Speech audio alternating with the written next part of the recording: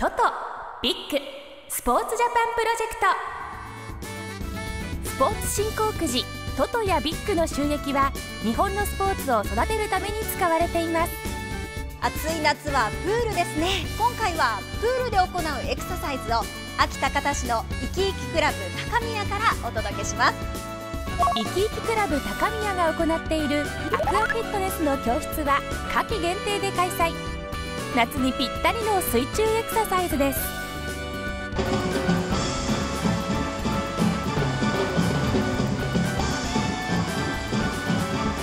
水の中でも全然気にしなく汗が切れるから楽しいです。